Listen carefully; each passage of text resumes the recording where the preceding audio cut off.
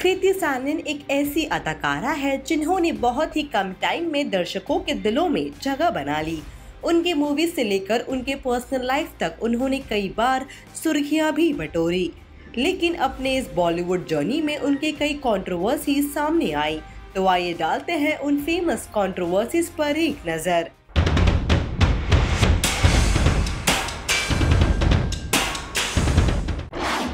Giraffe controversy Bollywood stars अक्सर अपने अलग अंदाज में फोटोशूट के लिए खूब सुर्खियों में रहते हैं। वेल, जहाँ कुछ लोगों को ये पसंद आता है तो वहीं कई बार सोशल मीडिया यूज़र्स अपने इंस्टार्स को ट्रोल करते हैं।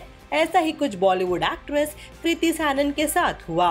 कृति का एक फोटोशूट वायरल हुआ था, जिसकी वजह से कृति को ट्रोल किया गया था। विवाद ज़्यादा बढ़ने के बाद उस मामले पर कृति सैनन ने चुप्पी तोड़ी और पूरे फोटोशूट को नकली करार दिया। दरअसल, कृति ने एक मैगजीन के लिए फोटोशूट करवाया था। उस फोटोशूट में कृति के पीछे जिराफ किसी चीज़ के सहारे ऊपर की ओर लटका हुआ था। कृति के इस फोटोशूट की जैसे ही तस्वीर सामने आई तो लोगों ने ऐतराज जताया।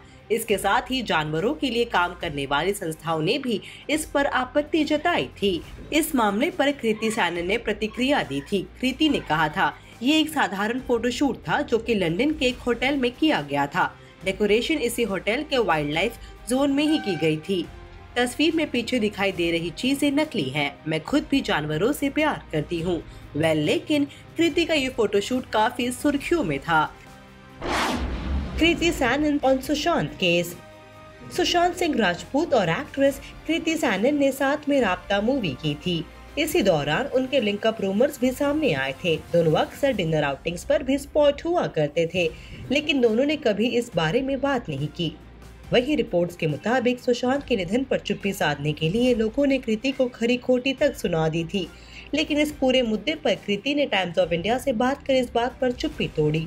कृति ने कहा था कि एक पॉइंट पर चारों ओर इतना शोर था कि मैं इसका हिस्सा नहीं बनना चाहती थी। ये बात एक ऐसे पॉइंट पर पहुँच गया जहाँ लोगों ने संवेदनशील होना बंद कर दिया।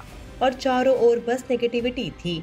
मैं उस नेगेटिविटी का हिस्सा नहीं बनना चाहती थी। मुझे पता था मैंने स्थिति के बारे में क्या महसूस किया और मैं उसे अपने पास रखना चाहती हूँ। मुझे किसी भी चीज़ के बारे में किसी से बात करने की ज़रूरत महसूस नहीं हुई, जो मैं महसूस कर रही थी। इसके अलावा आप क्या कहना चाहते हैं? आप हमेशा सोशल मीडिया पर कह सकते हैं। आप चिल्लाने के बजाय लिखकर अपने भावनाओं को व्यक्त कर सकते हैं। इतना ही नहीं, सुशांत सिंह राजपूत के निधन के बाद कृति ने अपने इंस्टाग्राम अकाउंट पर उनके साथ कई तस्वीरें शेयर की थी।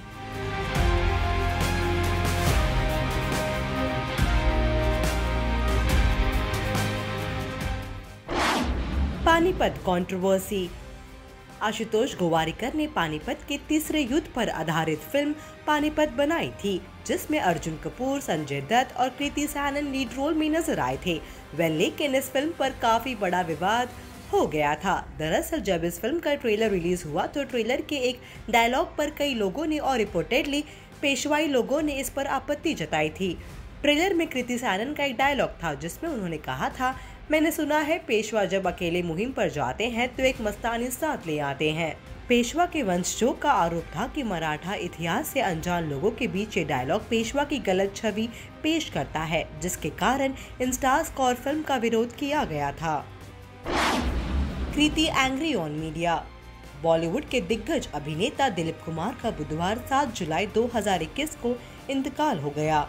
वो 98 इयर्स के थे। सांस और उम्र संबंधी परेशानी के चलते बीते दिनों उन्हें मुंबई के हिंदुजा अस्पताल में भर्ती करवाया गया था। इसके बाद से उनके घर कई फिल्मी सितारे सायरा बानो जी को मिलने और दिलीप जी के अंतिम दर्शन लेने पहुँचे। बहुत से सितारों ने दिलीप कुमार के घर पहुंचकर उन्हें श्रद्धांजलि दी। इस दौरान पेपराजी ने कई सितारों की तस्वीरें और वीडियोस बनाए। ऐसे में बॉलीवुड अभिनेत्री कृति सैनन ने दिलीप कुमार के अंतिम संस्कार की तस्वीरें और वीडियो बनाने वाले रिपोर्ट्स पर गुस्सा निकाला। उन्होंने सोशल मीडिया पर पोस्ट शेयर कर कहा कि किसी का अंतिम संस्कार एक निजी आयोजन होता है। मीडिया को इससे दूरी बनाकर रखनी चाहिए, उन्होंने लिखा। कि पेपराजी और मीडिया का किसी के अंतिम संस्कार में आना ज़रूरी है? अंतिम संस्कार बहुत ही निजी चीज़ होती है और मीडिया को ऐसे में सदमे में आए लोगों को शांति से चीज़ें करनी देनी चाहिए और न कि उनके मुँह पर कैमरे का फ्लैश मारना चाहिए। इस दौरान के वीडियो सोशल मीडिया पर देखना बहुत ही परेशान करने वाला होता है वो भी फोटोग्राफर्स का बैकग्राउंड में आराम से बातें सुनाई देने के साथ, कृति सैनन ने पोस्ट में आगे लिखा, मैं मीडिया से गुजारिश करना चाहूँगी कि अंतिम संस्कार कवर ना किया करे और परिवार के साथ करीबी लोगों को प्राइवेसी दिया करे। क्या आप अपने साथ हुई ऐसी चीज़ों को फ्लैश होते देख पाएँगे? कुछ चीज़ें बदले। प्रोफेशन से पहले इंसानियत रखे। सोशल मीडिया पर कृति सैनन के इस पोस्ट की चर्चा खूब होने लगी। Body shamed by Hate Story actress अभिनेत्री कृति सैनन ने फ़िल्म मुबारका के रिलीज़ होने के कुछ दिन पहले ट्विटर पर एक वीडियो शेयर किया था। इस वीडियो में वो हवा हवा गाने में डांस करते हुए नज़र आ रही थी। लोगों ने कृति के इस वीडियो को काफ़ी पसंद किया, लेकिन इसके बाद हिट स्टोरी फ़िल्म की अभिनेत्री भैरवी गोस्वामी ने कृति पर बेहद अजीब टिप्पणी की। भैरवी ने लिखा, ये एक पागल औरत की तरह हरकतें कर रही है। ये एक्ट्रेस कैसे बन गई? कोई हेडलाइट नहीं, कोई बम्पर नहीं। कॉलेज स्टूडेंट्स इससे बेहतर दिखते हैं। कृति ने उनके ऊपर की गई टिप्पणी का करारा जवाब भी दिया था। कृति से एक प्रेस कॉन्फ्रेंस में भैरवी के टिप्पणी के बारे में पूछा गया तो उन्होंने पहले कहा भैरवी गोस्वामी कौन है? कृति ने बाद में कहा मुझे लगता है कि मैं उनके लिए खुश हूँ। उन्हें ऐसा करके खूब पब्लिसिटी मिल गई है और अब तो आप लोग उनका नाम भी जानते हैं। वेल well, तो ये थी कृति सैनन से जुड़ी कुछ कॉन्ट्रोवर्सीज इन पर आप हमें बताएँ अपनी राय। Also do like follow and subscribe to Bollywood now on Facebook Instagram and YouTube